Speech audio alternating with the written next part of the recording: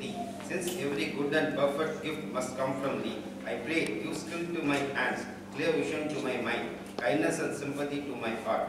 Give singleness of purpose, strength to lift at least a part of the burden of my suffering fellow men, and a true realization of privilege that is mine. Take from my heart all guile and worldliness that with the sinful faith of a child I rely on thee.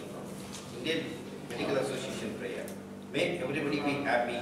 May everyone of us see to it that nobody suffers from any pain or sorrow. I do not ask for crown, nor I wish to be in heaven or reborn.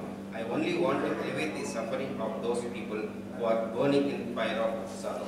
Thank you. Please take your seats. Now we move to the first topic of uh, today's